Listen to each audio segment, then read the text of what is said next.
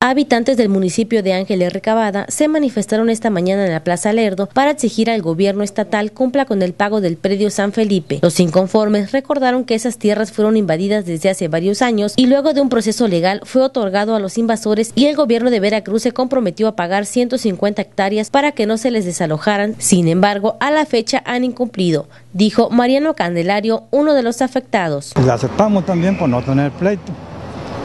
Tuvimos de acuerdo le pedimos 80 por Italia y nos, nos, dieron o nos están dando 40 por Italia.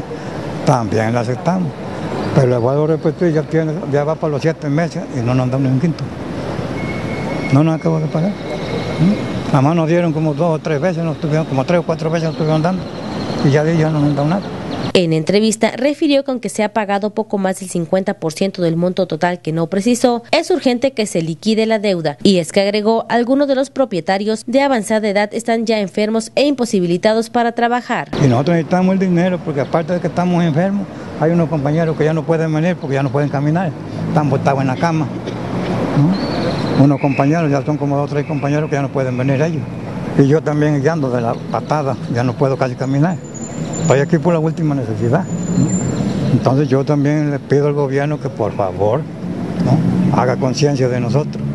Por lo anterior, pidió al gobierno del estado hacer conciencia de su situación y cumplir con los acuerdos pactados con ellos. Porque no queremos meternos a recogerla porque de seguro va a haber muertos y es lo que no queremos. No queremos que haya bronca.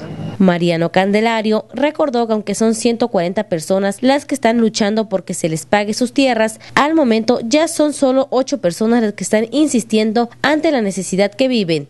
Porque el gobierno quedó comprometido con papeles firmados y sellados, donde se comprometían a pagarnos la tierra. Y hasta la fecha, vamos para los 7 meses y no nos han dado nada. Ya nos dieron una parte, como 3 o 4 pagos de 60. Y quedamos que nos iban a dar 60 cada mes.